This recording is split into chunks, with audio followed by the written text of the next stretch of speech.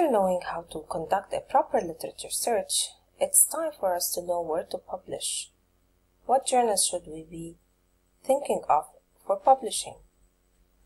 We should first of all look at the aim and scope for the candidate journal.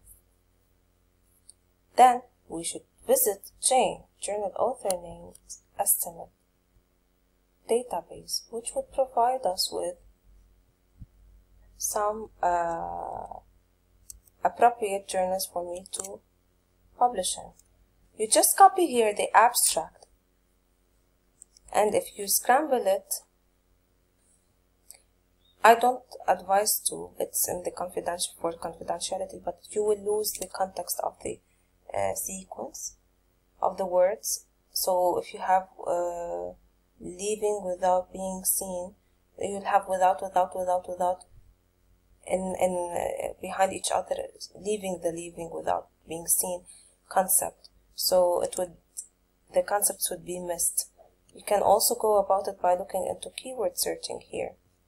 And then I click find journals. It would give me the Medline indexed and I'd rather have it currently Medline indexed with the confidence and the articles that are there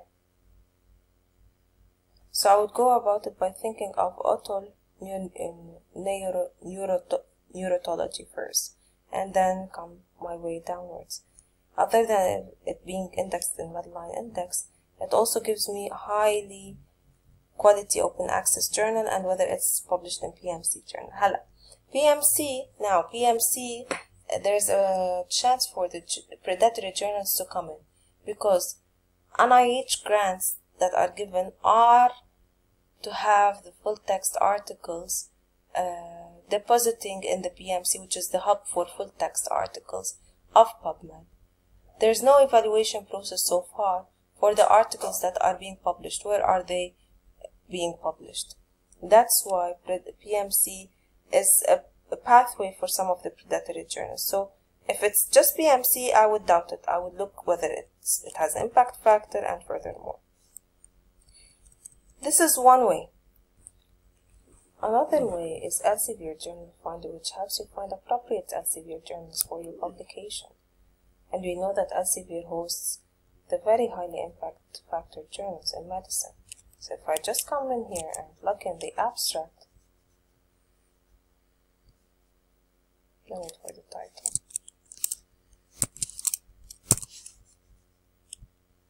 Go down can also filter by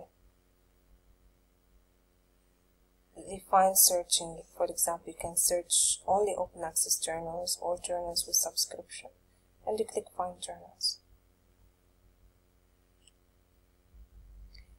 This will give you matching journals with the impact factor, with the acceptance rate, the time of the first uh, response, or decision and the time to publication.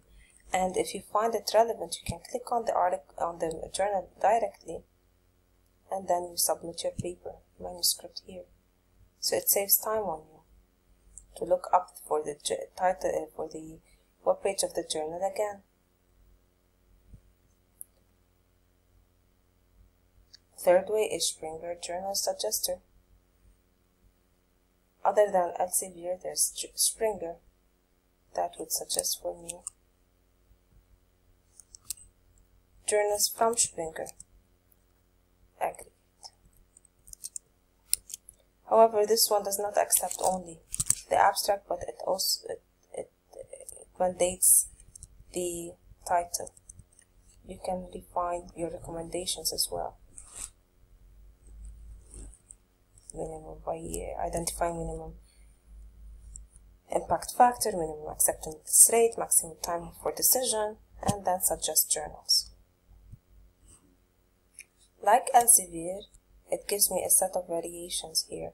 And like Elsevier, you can click it and submit your manuscript. Another way would be PubMed and Ovid Medline. After you've learned how to look up literature effectively and in a timely manner, which is efficiently, and now you are health information literate, in EndNote, upon uh, doing all your search, you can go to EndNote and filter or sort, sorry, by journal title and see which journal has been repeated multiple times. Now that you've done the search in a proper manner using the MeSH searching, you can identify the journal that is being, being repeated. Another way would be journal citation report. We're gonna tackle EndNote in the live session so I can show you how to go about looking the uh, looking up the journal that it is that is uh, repeated and thus relevant to your topic and search because you're looking for MeSH searching relevant talking about. You can browse by category or you can enter a journal name if you have a journal suggested to you by your advisee. If you don't have any notion about this, just come to the browse by category and try to have it in the quartile 1. So for, for example, it's in oncology, you click on the journals, it's 230 journals in oncology. If you want it to be uh, open access only journals, you can click here. If you want it to be in the first quartile journals, you can click here. So you can play around with the limitations and then click submit. If you want to see the whole 230 and start your way from up downwards, you simply come here and click on download, which downloads them into a CSV file. And you will start your way from the, the journals with the highest impact factor and move your way downward. These are some journals, Arab journals that have impact factor, which is advised to, for you to, to look for, to look there as well. For me, to publish in a journal, I would be looking into the following factors. It has an impact factor in quartile 1. It is indexed in Medline, currently indexed in Medline. Why? Because of the booming of the systematic reviews. And when you have systematic reviews and you are being screened, upon the screening, we don't look into the journal. So you might be in a not very well off known journal, but you will be shortlisted because your topic is related to to the systematic review concept. Open access in a high quality database and in PMC. So if all of these factors work out to me, I am living on cloud nine. But if they don't, then you have to weigh your, your way through. Most importantly for the journal to have a good impact factor and to be indexed in Medline to me. How to know whether the journal was indexed in Medline or not. I simply click here and I type in the name of the journal or I can browse through the currently indexed in Medline. Journals currently indexed in Medline. See, it says here currently indexed. I don't want things that were indexed in Medline. So Lebanese Medical Journal, for example, used to be indexed in Medline, not anymore.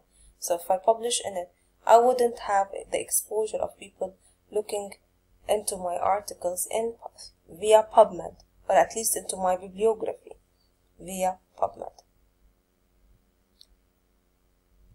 We discussed about open access. One high uh, quality open access database is the directory of open access journals. Its scientific quality and the publisher and the editorial board. You can see who's there on the editorial board if he if the, the person there is very well known in the specialty, then yes, I will go and publish in the journal. One way to help you look into the editorial board is Publons, given by Clarivate, and it is provided by AUB. Before you submit, think, check, and then submit.